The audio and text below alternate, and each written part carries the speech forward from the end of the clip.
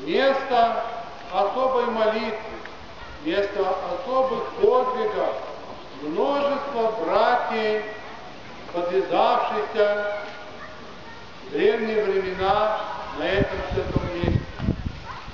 И как драгоценный сосуд, эта обитель родила нам светильника русской земли, преподобного и богоносного нашего батюшки Серафима Саровского из всея России чудотворца. Центральный соборный храм был посвящен в честь Успения Пресвятой Владычицы нашей Богородицы.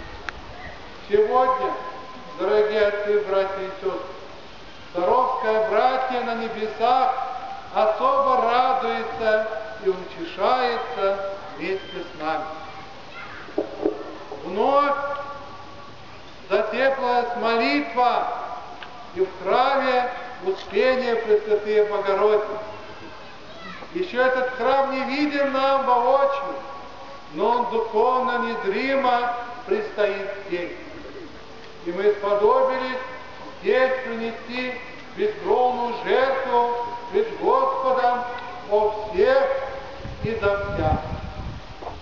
Паки поздравляем всех причастников с принятием святых Христовых таинств.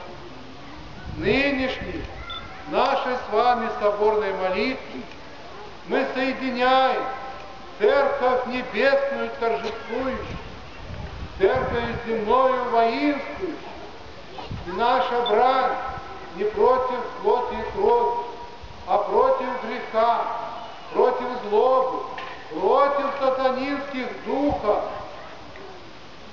И мы молим Господу и просим и всех подвижников Саровской пустыни, чтобы спросили они у Господа нас, тихо и без